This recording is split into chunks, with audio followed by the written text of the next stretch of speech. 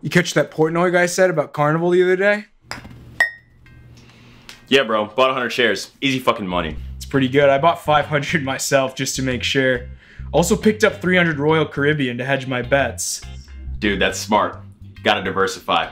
Gotta ask though, where'd you get the cash for that?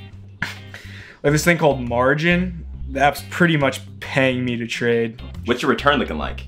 Well, I'm up 56% since my cousin's birthday. I'm up like 6k in the last three days. Brings me to about even, I think. You ever thought about trading futures? I heard about them, but uh, not really sure how they work. Well, my friend from Wharton pretty much told me about it the other day. Are they risky or what? You know, I don't really know too much about risk per se, but I'm pretty fucking sure that what I bought is still gonna exist in the future.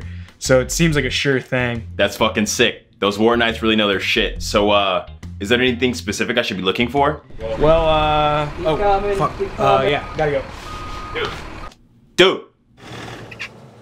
Can I help you? I got 100 barrels that are supposed to come to this address. 100 barrels of. 100 barrels of oil. You are uh, Paul Middlebrook Jr., right?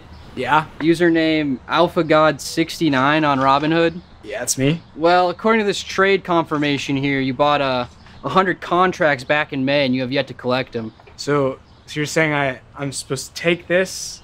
I no no no this is a misunderstanding. I was supposed to be buying a stock in oil. I don't I don't I'm not taking this from you. I don't know what that means. Uh, I got 13 trucks identical to this one right down the street. So uh, where can we lay this bitch down? Way down. I don't have anywhere to put this shit, dude. We'll figure it out. Raj, bring in the next truck. Hey, can I get you to sign this?